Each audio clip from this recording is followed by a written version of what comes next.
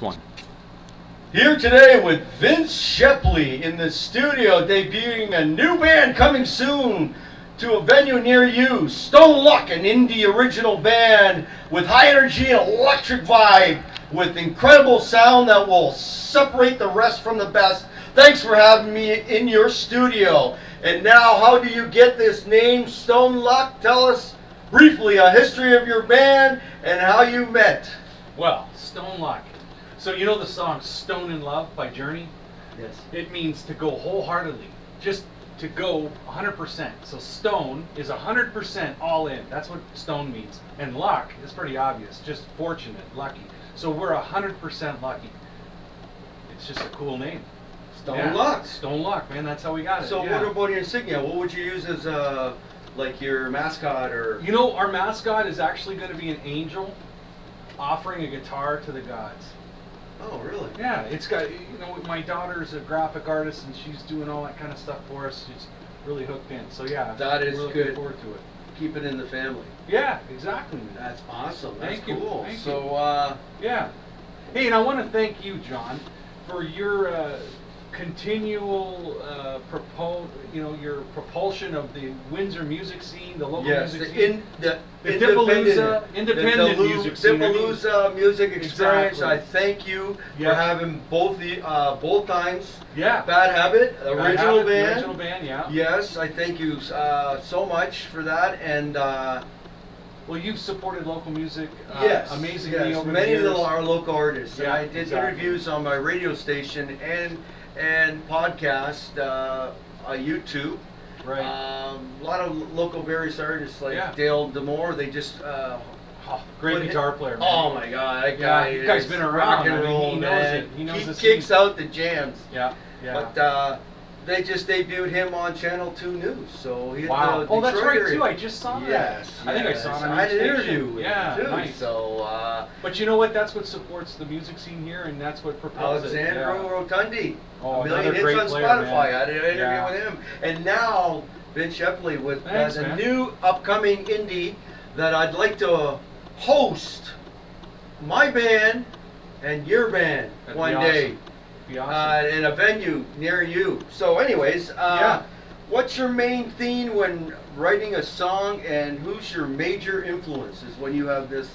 You know, we don't really have a main theme. There's input coming in from everybody. The guys, you know, Joe Morovic, he's a well-known player in the city. Uh, you know, Drummer. top top shelf drummer.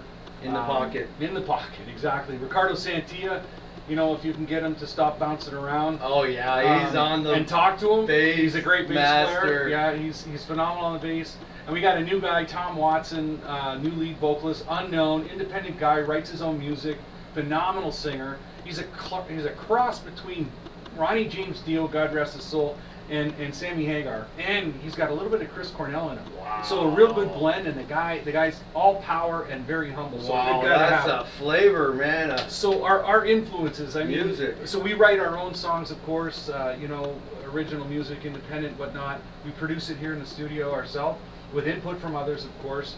Um, but but our uh, our influences, I mean, I mean, of course, some of the local guys like Brian Danner, Mark Braddock, Tees, Yes. um, Awesome. Ashes of Soma are some good guys. that played in this actually recorded, and they're uh, Yeah, they've done some in stuff. your studio, exactly, yes. exactly.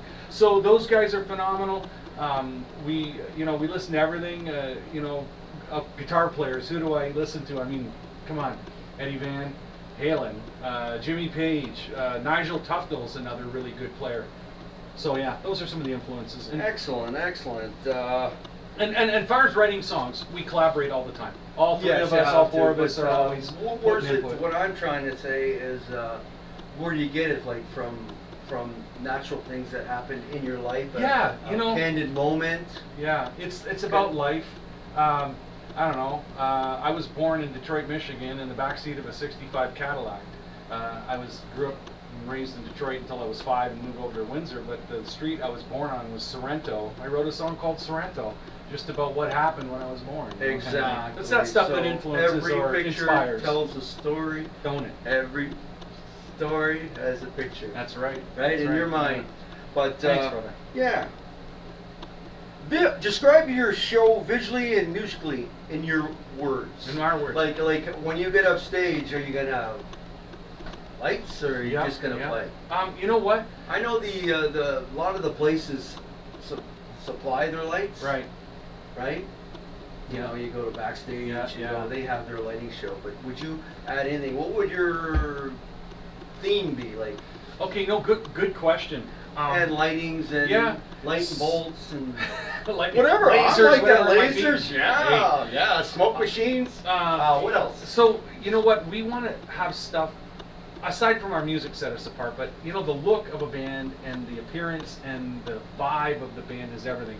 Yes. I'll let you hear some of our stuff we're recording later, but Awesome. um, it, you know, it's really about the look, the feel, the vibe. And I've always strived to be professional, over the top. You know, hey, I'm not the level of Kiss over the top, you know, with the everything blowing up on stage. But I think the audience deserves it. They need a visual, something to look at aside from our good-looking faces, pun intended. But it's it's really about The the, audience and connecting with the audience and, and driving a story through visual. So I would say, yeah, lots of lights. Um, we've got some special effects that we're going to bring forward that we're kind of keeping under wrap. Uh, some just custom made things for our band.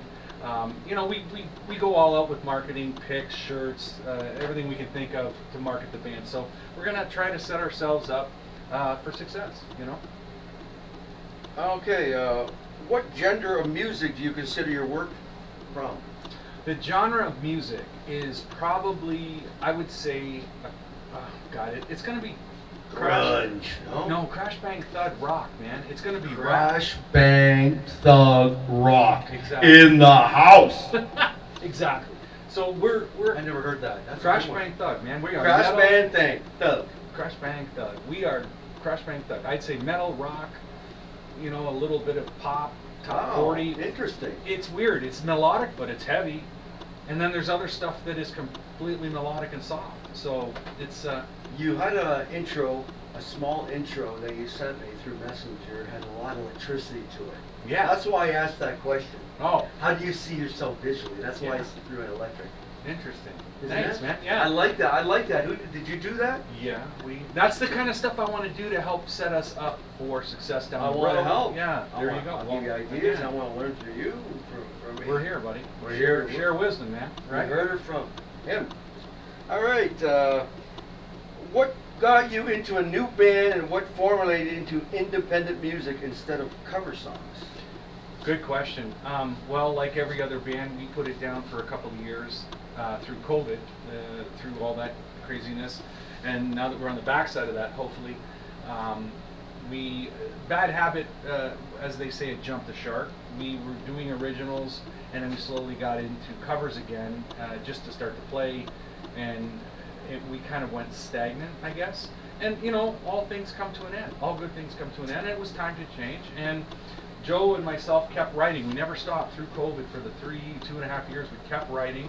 Ricardo took a break. Uh, we came back together again, uh, and we were always on the hunt for a singer. You know, looking looking for a potential guy out there. Um, but uh, it, it all came together in the end, and here we are with Stone Luck. Uh, speaking of pros and cons, speaking as original artist as I am, because I have originals too, original band Yep. too, and now I just started uh, a new band with Bad DNA. Uh, he's got a Great little bit of flavor, yeah. Yeah. And uh, I still got plug and play members. Whoever shows up, that's Yeah. plug and play. That's Yeah. uh, that's not a band; it's an event. Just show up and play. I like that. And then uh, that's all good. Yeah. Very good. Very cool. I lost train of thought there, but. Uh, It happens to the best of us. It's all good. What is your ultimate direction of the band seeking fame or fortune? Well, we're not in it for the money, brother. Nobody is. For the fun, for the passion. We're in for the fun. the Um, fun. So The you know, girls, man, the drinks, man, the long nights, the rock and roll. Now we're No, you know kidding. we're we're all uh, we're all pretty dedicated to the craft. I'll say that. Uh, everyone's writing and, and contributing equally to this thing. Where do we see it going? You know what? We had the opportunity in Bad Habit to open up for Hogs for Hospice and open up for Our Lady Peace. Oh, wow. Uh, yeah, we got to open up for Anvil on their start of the North American tour uh, here at Backstage, and follow them along down the road, London, whatever. Um, same with, with Our Lady Peace, and so we want to get back to I the bigger festivals. Yeah, we want to get back to playing the festivals, uh, supporting causes. You know, there's a lot of good that can be done with music and fundraising and that kind of thing. And Yeah, that for sure. if you put the D in it, it stands for denomination, so fund raising. You raise funds, but we do it for fun, so raising funds. Anyway, Yes, that's a good play on words, bro. Yes. Play on words. All right. Uh, where are your, sorry, where are your up, upcoming events and how can they find them? Yeah. Where you play next? So we have a Facebook page. We're putting together a bunch of promo, of course. Uh, going to continue with that. You know, kind of drip feeding it to the folks on our Facebook page. Right now, we only have Facebook, and that's how we intend to market right now on Facebook. Um, of course, one of the best venues in the city here for live independent music, cover songs, whatever. Uh, again, another big proponent of, of music um, is Kenny's Place, the backstage. Uh, Yes. Players backstage on Langways in Windsor here. So there, and then there's a couple of places out in Toronto that have invited us to come out. We've sent some uh, demo stuff out there, and going to try and get into some different places out there, like the Horseshoe or someplace, uh, you know, rite of passage in Canada. If you were, I know you opened some, some big bands. If you had your choice, what band would you open up for? The biggest band, you know what I mean? oh, wow, good question, man. Um, What the ori- uh, With original, originals, uh, yeah. Original uh, casting members or yeah. band members. Band who members. would I who would I open up for? Well, I would I would probably say, I I, I would say the Guns N' Roses. Oh, GNR. Yeah, like just to go and open for those guys. So your your music's similar to that twist? Yeah, I would I would say it's kind rock. of in that vein. You know, again, I'll let you hear some stuff, but it might be a little heavier in some areas. But but definitely that would be a fun show to open up for. Or or the Foo Fighters. I think opening for the Foo, Fighters would man. be good too. They got that movie Dave, out. Dave and the boys. Yeah, yeah. Any last words? Uh, you know what? No, just looking forward to seeing everyone when we when we do finally get out and play. Come out and support us. Uh, you know, we'll have swag and all kinds of good stuff to give away. Fantastic. So thanks, John. I appreciate your time, man. Thanks again Thank for brother. playing for my Dipalooza Rock Festival, Indie Always. Rock Festival. Yeah. And thanks for having me at your studio, the MS Metal Studio. Large and in charge over here. Upcoming events, uh, tomorrow I'm hosting a party for a retiree Ty Marion, the Fix-It guy, and possibly Sunday with uh, Chad Normandeau with his uh, without a mic. He's playing actually for uh, what's that place that uh, event going on Monday? Raise the voice or Oh, uh, Walter Brady, I think. you Walter Riggy? Yeah, yeah, uh, yeah. Raise the voice, and uh, we'll see we have what he has to say about that, and more to come. So please like and share my video, and subscribe. Number one.